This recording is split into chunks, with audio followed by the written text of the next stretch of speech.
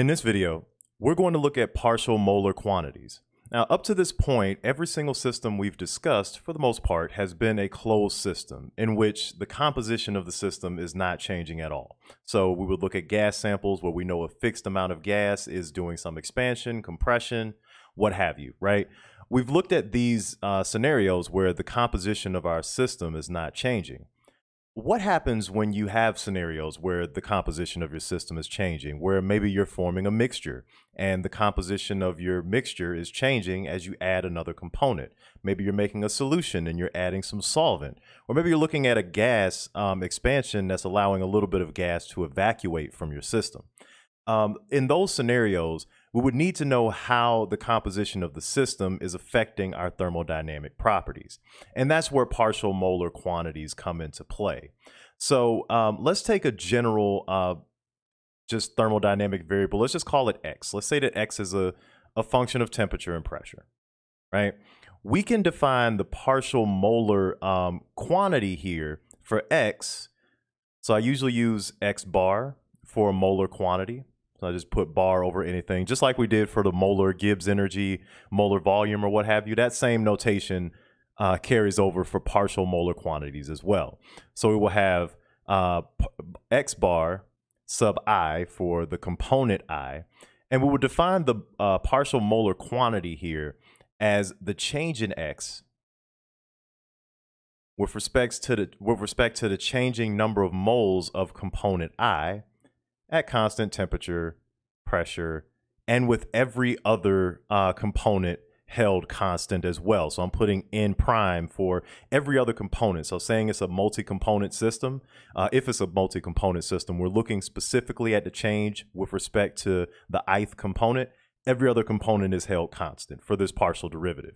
So this is a partial molar quantity. So partial molar quantity. And think about what this says to us, right? This basically telling us that this is the fractional component, um, the fractional change of this property with respect to the changing number of moles of a specific species or specific part of this composition, right? So, um, so this will be really useful to us in situations where we have changing composition of our system. And uh, the most prototypical example of that is any type of mixture. So I think the easiest way to visualize partial molar quantities, or at least the easiest one to visualize, is the partial molar volume, right? Because you already have a, a good sense of, of volume and probably the best physical sense of volume of anything we've talked about at this point. So let's kind of uh, look at a scenario where we can use the partial molar volume to, to help us answer a general question. So in this figure, I've drawn um, just two components, so two isolated components um, that are brought together into a mixture. So we have component A and we have component B. So let's say that component A is 100 milliliters of water. So we got 100 milliliters of H2O. And let's say that component B is 100 milliliters of methanol. So we got 100 milliliters of methanol. Right? So if we take 100 milliliters of water and we take 100 milliliters of methanol and we put them together in a mixture, what do you think the final volume is going to be? Now, you might say 200. If you do, uh, that is not correct. So it's actually going to be a little bit less than 200. So the final volume here is going to be approximately 193 milliliters when you add together 100 milliliters of water and 100 milliliters of methanol. And you might be thinking, what what happened to the law of conservation of mass, right? What happened to the other seven milliliters, right? Um, so I can give you a molecular level explanation, which I'll do now, and then we'll talk about how partial molar volume comes into play.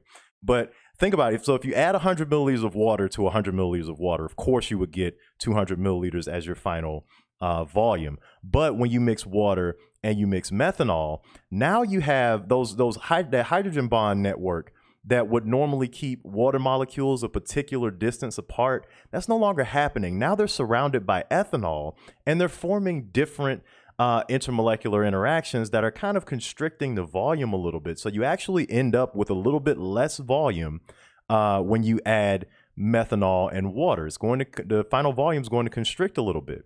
And what this shows is that there's going to be a different uh, contribution from each uh, from each component of this total mixture, right? There's a different uh, contribution to the volume that we can actually calculate. So um, let's look at what the volume, how we could calculate the total volume, right? So we know that the volume is going to be a function of temperature, pressure, the number of moles of component A, our water, and the number of moles of component B, our methanol, right? So in in in total, we have a function that is a four variable function. It's a function of temperature, pressure, and the number of moles of each of our two components. Everything's changing in this, right? We're forming a mixture, we're adding in the water and methanol, so the number of moles of each of these components is changing. So, if we wanted to write out a total derivative for this guy, right, we would have to have four partial derivatives that contribute to that total derivative. If we wanted to do dv, right, we would have dv dt, and this will be at constant pressure, constant number of moles of A, and constant number of moles of B, right, dt, plus dv dp, right, constant temperature, constant number of moles of A, constant number of moles of B, dp, right? Then we would have the partial of volume with respect to the change in A, right? This will be at constant temperature, pressure, and the number of moles of B, right? The change in, in A. Plus the final term would be dV dNB, right? Constant temperature, constant pressure, and constant number of moles of A right? These last two terms are partial molar volumes, right? So this fits the exact definition that we wrote out in the beginning for a general property, right? This would be called the partial molar volume.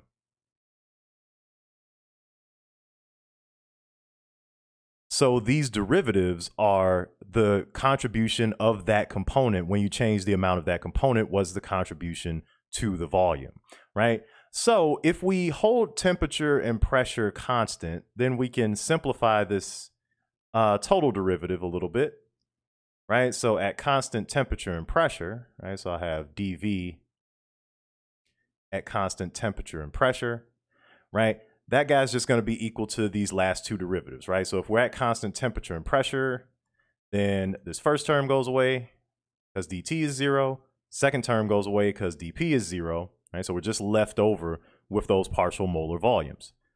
So we'll have dV, dNA, right? We got constant temperature, constant pressure, constant NB, DNB, uh, DNA, yeah, plus dV, dNB, constant temperature, constant pressure, constant NA. All right. Okay. So you're just left with these two terms as a result, right? So now I'm going to use the notation that we have here to write these partial molar volumes, right? So I'm going to say that dV is just equal to the partial molar volume of A, DNA, plus the partial molar volume of B, DNB right? So this gives us a way that we can write out a total volume expression um, just by integrating with respect to the change, right? So if we want to get the total volume, right? So we'll get the change in volume dV, right? In fact, since we're dealing with the mixture, right? So let me write this out as an integral, right? Since we're dealing with our mixture, which initially doesn't exist until we make it, our initial limit of integration can be zero. So we're going to be integrating from zero to the final volume, right, of dv.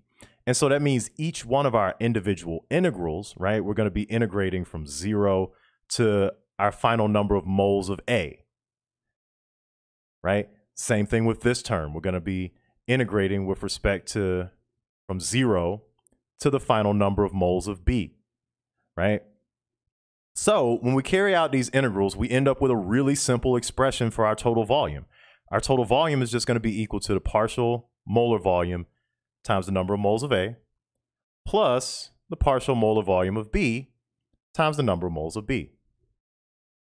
Right? So we end up with this really simplified expression for our total volume that just depends on the um, the number of moles of A and B respectively and their partial molar volumes, right? Now, partial molar volume is going to be something that is dependent on a lot of factors, but mostly it's dependent on the composition. So as the composition of your solution changes, the partial molar volume is going to change. And, and hopefully that makes sense given the definition of our partial molar quantity. If you have water molecules that are surrounded by a bunch of uh, methanol molecules, um, that's going to look a little different from water surrounded by only a few uh, methanol molecules. So, uh, so this partial molar volume is composition dependent.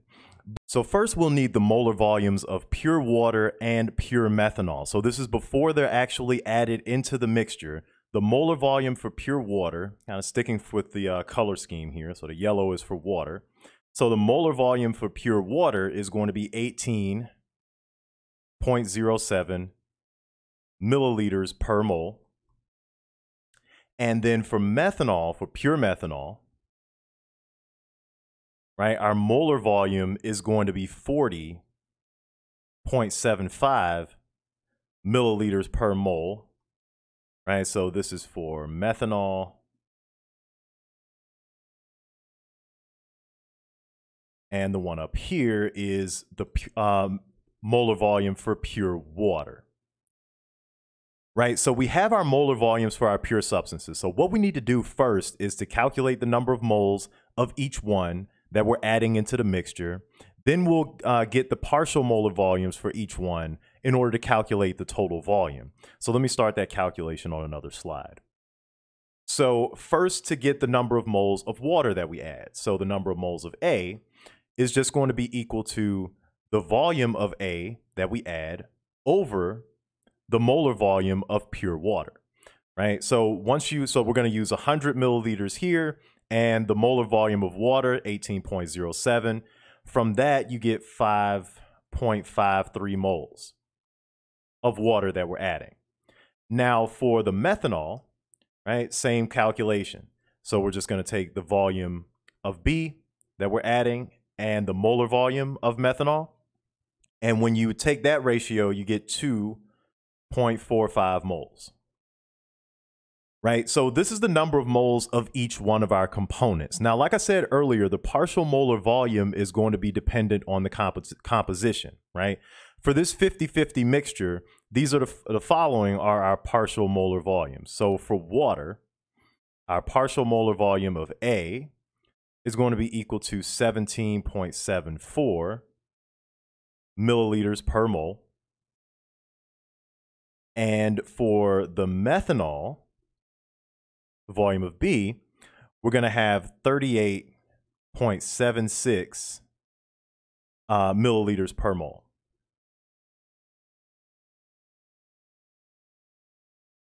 Right. And when I said 50 50 mixture, I meant by volume, right? Obviously, we have a different mixture per mole, right? So this molar composition is going to determine what these partial molar volumes are. Okay, so now that we have those, we have everything we need to plug back into our expression for the total volume, right? Our total volume only required the partial molar volumes and the number of moles of each component. So we have everything we need to plug in. So our total volume uh, is going to be 17.74 milliliters per mole, right? Times the number of moles of water, right? 5.53 moles, right? Plus the partial molar volume for methanol, 76 milliliters per mole. And the number of moles of methanol are 2.45 moles.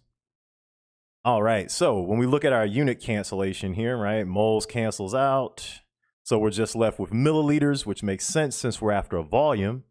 And when you calculate that, you get 193.1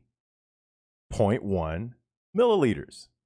right? Which is exactly what we saw in the beginning as our approximate volume for this water methanol mixture. So the mixture isn't exactly going to be 200 milliliters, even though you add 100 milliliters of methanol and 100 milliliters of water. And through this example calculation, we're able to see exactly why, because their contributions to the total volume are different. And what governs that contribution to the total volume is the partial molar volume. Now, we can define partial molar quantities for almost all of our thermodynamic properties, and they work in a similar way. They're a little bit harder to visualize than this partial molar volume, but they work in exactly the same way a partial contribution to that quantity based on a change in the uh, number of moles of that component.